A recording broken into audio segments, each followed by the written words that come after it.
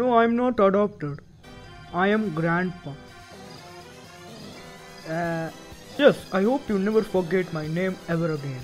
But grandpa, who asked? I'm back.